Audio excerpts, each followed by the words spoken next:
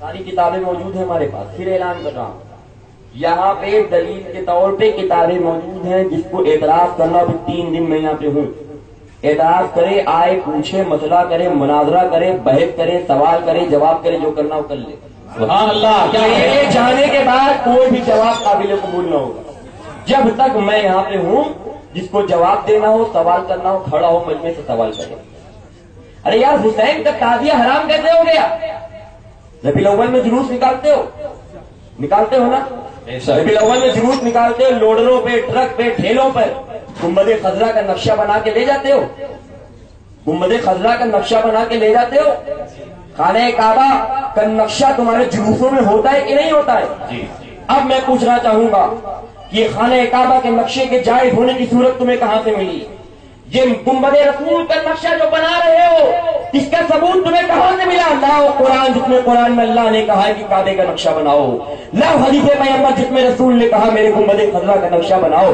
نہیں نہیں تم ڈھونڈتے رہ جاؤ گے۔ نقشہ کس لیے بنا رہے ہو؟ کہ رسول کے گنبد کے نقشہ ہے۔ رسول کا گنبد ممتاز ہے یہ بھی اعلیٰ ہے۔ رسول کے مقدس گھر جس کی جانب اللہ کے مقدس گھر جس کی جانب رسول سجدہ کرتے ہیں یہ وہ کعبہ ہے جس کی جانب دنیا سجدہ کرتی ہے۔ اس کعبے کا نقشہ ہم بنا کر اعلان کرتے ہیں۔ یہ غیروں کا جلوس نہیں ہے مسلمانوں کا جلوس ہے۔ یہ اسلام کے ماننے والوں کا جلوس ہے۔ پتہ یہ چلا ہے کعبے کا نقشہ جو ہے وہ جلوس میں فرق پیدا کر ہے کہ مناسبوں کا نہیں مومنوں کا جلوس ہے گنبد خزرہ کا جو جلوس نقشہ ہے وہ ہمارے جلوس میں فرق پیدا کرتا ہے کہ منافقوں جلوس نہیں مومنوں کا جلوس ہے۔ ارے سنو سنو گنبد خزرہ کے نقشے کو جائز کہتے ہو کعبے کے نقشے کو جائز کہتے ہو۔ یہ حسین کے کربلا کا، یہ حسین کے مزار مقدسہ کا نقشہ حرام کہتے ہو گیا۔ خدا کی قسم، اگر حسین نہ ہوتے تو نہ آج کعبے کی عظمت باقی ہوتی، نہ گنبد خزرہ کی عظمت باقی ہوتی۔ یہ تو یزید تھا، جس نے خانہ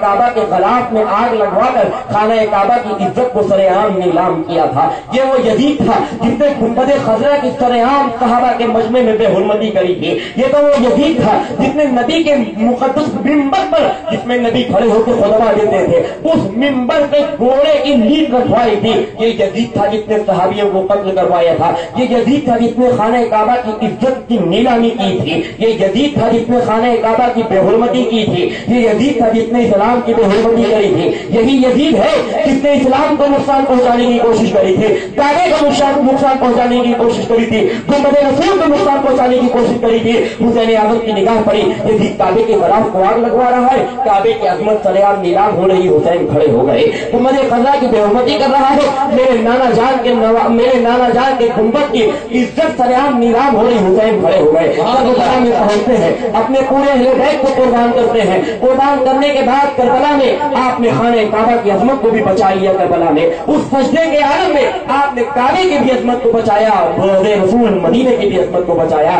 تو جس حسین نے کعبے کی عظمت کو بچایا ہو جس حسین نے رسول کے روزے کی عظمت کو بچایا ہو، اس اس حسین کے نقش کا، اس حسین کے مزار مقدس کا، اس حسین کے روزے مبارکہ کے نقشہ بنانا حرام کیسے ہو سکتا ہے؟ کہ حسین کی صدقے میں سلام بچا، کعبے کی عظمت بچی، مدینہ رسول کی عظمت بچی، تو اس حسین کے مزار کا نقشہ حرام نہیں ہے۔ جب کعبے کا نقشہ بنانا جائز ہے روزے رسول کا نقشہ بنانا جائز ہے، تو بادرجہ اعلیٰ اولاد رسول سید الشہداء، امام حسین علیہ السلام کے روزے مقدسہ کا نقشہ بنانا جائز ہے، جس کا دیکھنا ثواب ہے اور اس کی زیارت کرنا باعث برکت ہے۔ نعرے